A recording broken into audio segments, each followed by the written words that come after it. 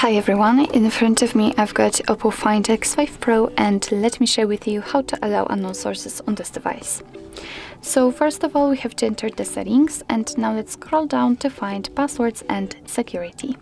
Now let's tap on system security and here we've got the section uh, called app installation.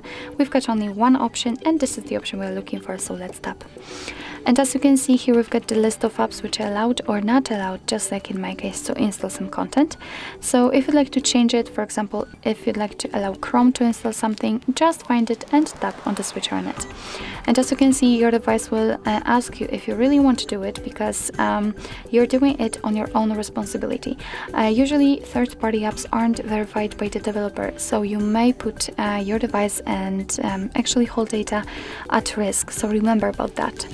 Uh, let's tap on allow if you are ready and as you can see the Chrome is active right now which means that it is allowed to, um, to install some some uh, content. Of course it will work the same with all other apps and you can turn off the permissions whenever you want to.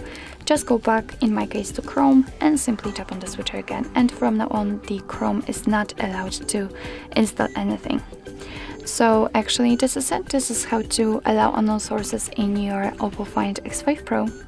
Thank you so much for watching, I hope that this video was helpful and if it was, please hit the subscribe button and leave the thumbs up.